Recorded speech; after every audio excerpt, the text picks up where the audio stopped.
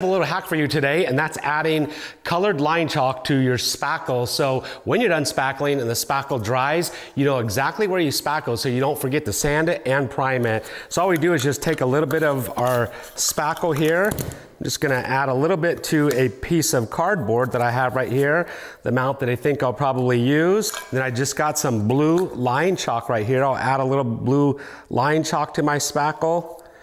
I'm just gonna mix that up.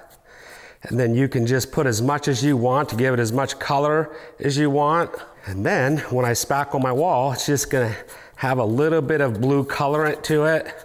So I know exactly where I went. I don't need too much, just a little bit. You can see now that's starting to have a nice tint of blue added to it. Now I'll do my spackling and it's gonna dry to a nice tint of blue.